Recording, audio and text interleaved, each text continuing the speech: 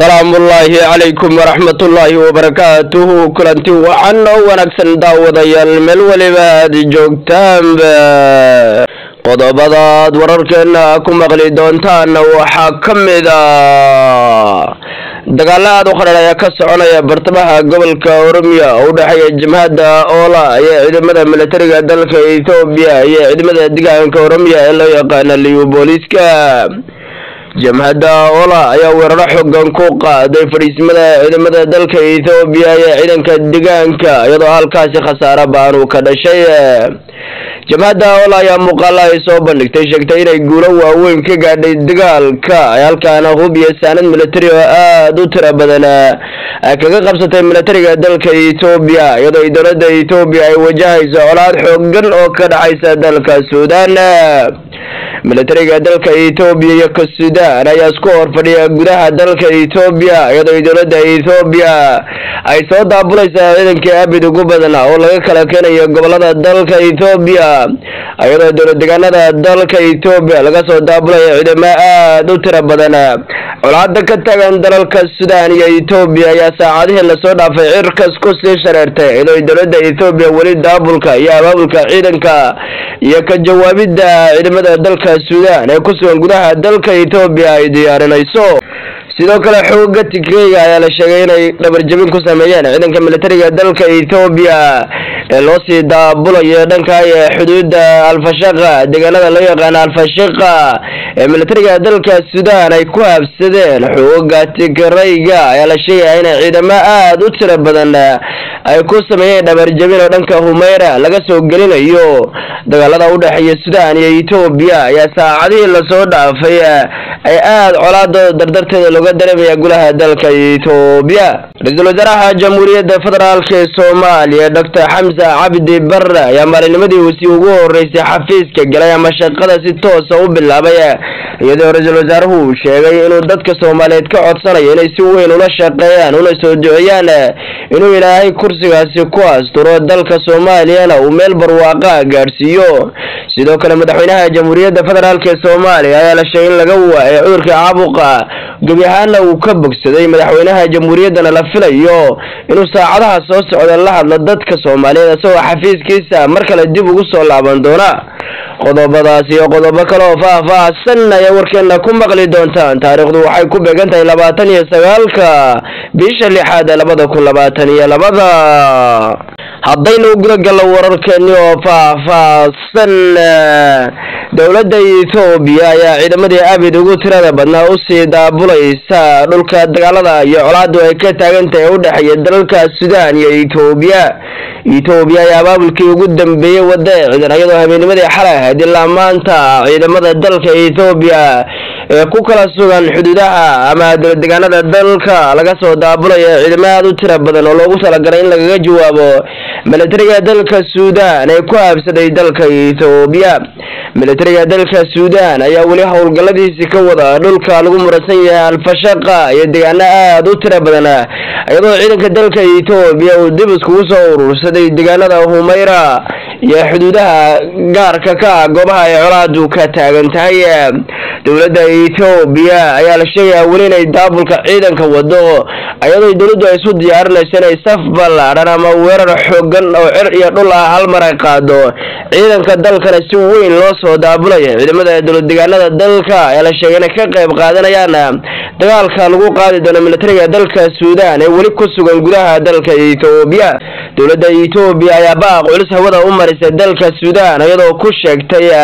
haddayna ciidamadeeda kala bixin saacadaha soo socda gudaha dalka ethoobiya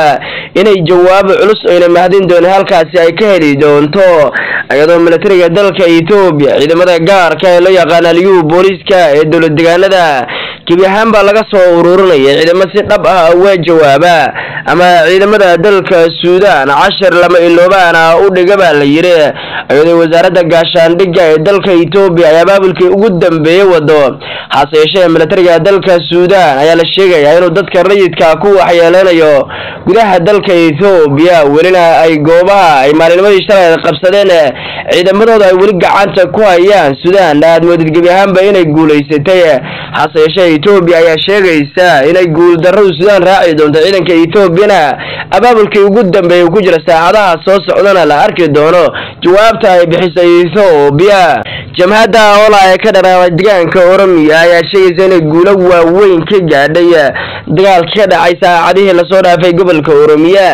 jamhadda ayaa muuqaalo soo dhigtay baraha bulshada iyo warbaahinta taageerta. Ay ku sheegtay hub iyo saarad ay ka furatay militariga dalka ethoobiya ee ka dhaqaaqa gobolka oromiya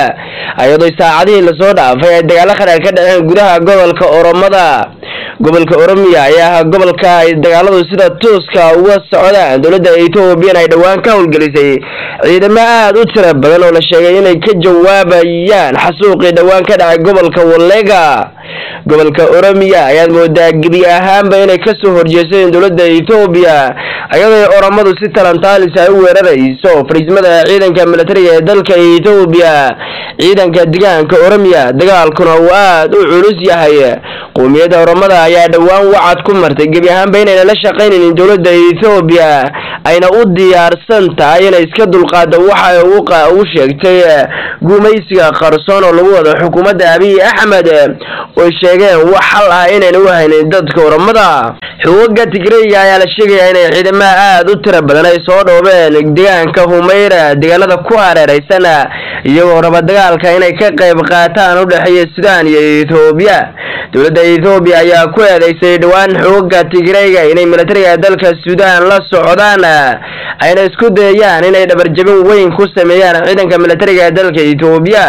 xugaga tigreyga oo la rajaynayo inay wadahadal la galaan dowladda ethoobiya maalmaha soo socda iyagoona weli tigreygu ayna ku dhawaaqeen guddigii u matari lahaa. Wadahadalada dowladda ethoobiya ay la galayaan hase yeeshee dowladdu ay diyaarisay iyadoo xubnaha matalaya ayaad haddana moodaa colaada suudaan iyo ethoobiya u dhaxaysa inay ka faa'iidaysanayaan iyagoo la sheegay ciidamadooda si weyn ugu sii qulqulayaan deegaanka umayra. Oo hadda deegaanka keliya ay ciidamada ethoobiya gacanta ku hayaan ee ciidanka suudaan ay dul hooleelayaan qodobareedkeena ugu dambeeyay ra'iisul wasaaraha jamhuuriyadda federaalk ee soomaaliya doctor xamse cabdi bare ayaa maalinimadiisii ugu horeysay xafiiska shaqada galay iyadoo ra'iisul wasaaruhu ummadda soomaaliyeed ka codsaday inay u soo duceeyaan inuuna ilaahay ku fashilin kursigaasi iyo xilka uu sida ummadda soomaaliyeed. Guud ahaanba ra'iisul wasaaraha jamhuuriyadda federaalk ee soomaaliya ayaa qoraal yar uu soo dhigay beyjkiisa ama baraha bulshada ayaa waxa uu ku sheegay inay maanta tahay maalinimada ugu horreeya ee shaqada ra'iisul wasaaraha bilaabatay xafiiska uuna yahay maalinimada koowaad oo xafiiska si toosa u soo galay ummadda soomaaliyeedna uu ka codsanayo duca inay la soo garab istaagaan isagoo sheegay si dhab ah inuu ugu shaqayn doono ummadda soomaaliyeed. Madaxweynaha jamhuuriyadda federaalk ee soomaaliya doctor xasan sheekh maxamuud ayaa laga waayay cudurka coronavirus ee dhowaan lagu sheegay isagoo la sheegay cudurka caabuqa inuu madaxweynuhu ka bogsaday ilaahayna caafiyey sidoo kale madaxweynaha jamhuuriyadda federaalk ayaa la filayaa mar dhow inuu xafiiskiisa ka soo muuqdo. Dibna ugu soo laabta shaqadiisa qaran uu haya ummadda soomaaliyeed. Tan iyo kulanti dambo wacan. Salaamu ullaahi calaykum waraxmatullaahi wabarakaatu